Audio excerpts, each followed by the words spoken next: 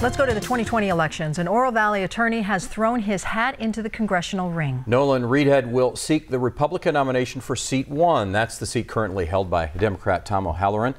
Uh, Reidhead uh, said he supports President Donald Trump's efforts to drain the swamp, secure the border, and improve the economy.